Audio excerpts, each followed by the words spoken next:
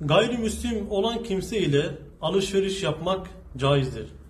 Dinimizde ticarette ırk ve din ayrımı yoktur. Her milletten, her dinden insanlarla alışveriş yapmak da hatta onların işinde çalışmak da mahzur yoktur.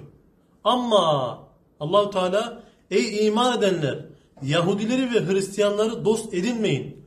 Onlar birbirlerinin dostudurlar.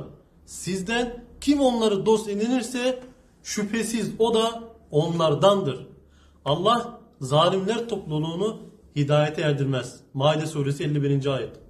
Ve devamında onların dinlerine tabi oluncaya kadar ne Yahudiler ne de Hristiyanlar senden asla razı olmayacaklardır.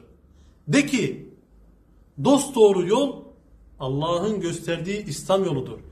Eğer sana ilimden sonra onların heva ve heveslerine uyacak olursan bilesin ki seni Allah'ın gazabından koruyacak ne bir dostun ne de bir yardımcın vardır. Bakara suresi 120. ayet. Hatta sen onların dinine girsen bile senden asla razı olmayacaklar. O yüzden onlarla asla dost olma. Rabbim muhafaza etsin.